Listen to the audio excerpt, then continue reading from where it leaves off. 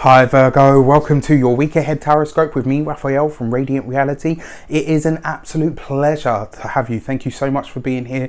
Thank you so much for joining me. If you haven't already, please don't forget to like, share, and hit that subscribe button if you should so choose. If you are already a continued subby, thank you so much for all of your support. It truly means the world. With that said, if you would like to book a personal tarot reading with me, you can do so on the website address below.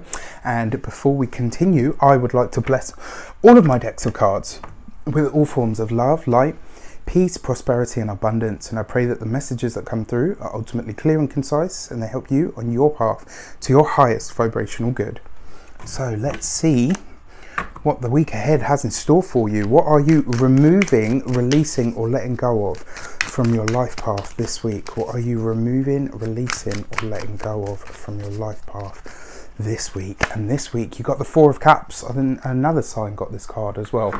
So uh, yeah it really feels for me like you're letting go of the melancholy this week.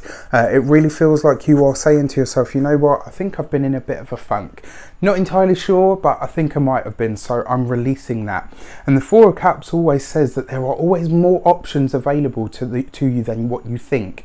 So with this as being what you're letting go of it kind of feels for me like you're saying to yourself actually you know there are blessings in my disguise uh, in disguises at the moment and more importantly there is more available to me at this moment in time. So this week what you're letting go of is a narrow-minded focus and that's not to say that you are narrow-minded but let's be honest you guys are very detail orientated and sometimes when you hone in too too close or too sharp on something you miss whatever's on the periphery. So it kind of feels like you're broadening that this week. So you're saying to yourself look you know what? Yes I've been in a bit of a funk but I'm going to lift that off I'm gonna not look so much at the details and kind of bring it back a little bit. So this week you'll be thinking a bit more, uh, you know, big picture, uh, which isn't necessarily something that people um, associate with uh, Virgo, but I think you can do it because you're really good at turning your hand to pretty much anything. So let's see what you're working on now. What is at the heart or the meat of the matter? And this week you get the King of Pentacles. So this is about your success, right? It's about your accomplishment and your achievement. What you're working on now is really pushing and driving yourself to get yourself out there in the world. This is more about visibility, but it's also because you guys are very work and detail orientated. It really is about you putting that kind of energy into getting yourself out there now. Uh, the King of Pentacles, an earth sign male, usually Taurus, Virgo, or Capricorn. So this could even be you yourself. Uh, even if you are a woman and you're watching this, as most of my audience are female, sometimes the court cards represent archetypes of ourselves. They represent aspects of ourselves.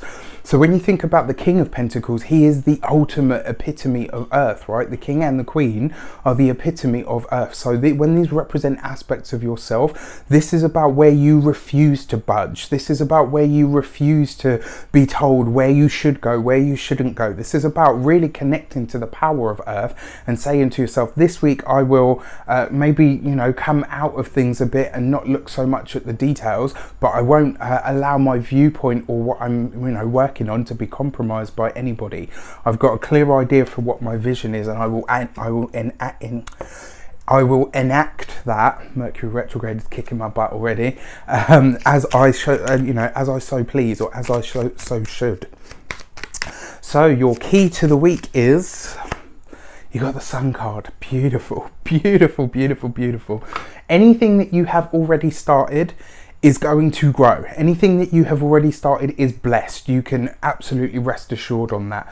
My advice is probably don't start anything new because, you know, we are into the Mercury retrograde proper now uh, especially as we get into sort of, I think it's Wednesday, yeah.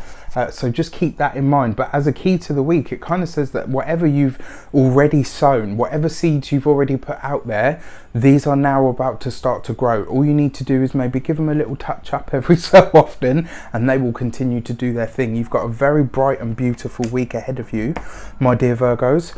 With that said, I wish you an abundance of all of that good stuff. Have an amazing week. Let me know how it goes for you in the comments. Take care, and I will see you very soon for more videos.